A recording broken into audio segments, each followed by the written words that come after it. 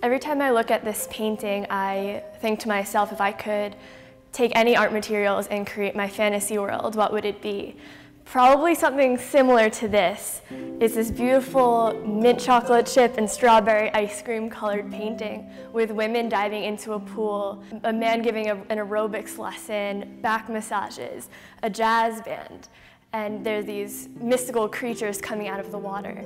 And what made this work possible was that Florine Stettheimer, the artist, was lucky and she was encouraged in her artistic pursuits uh, growing up and she was able to study art, but she also had the money to be able to create whatever she wanted for her own pleasure and she didn't have to sell her works to make a living.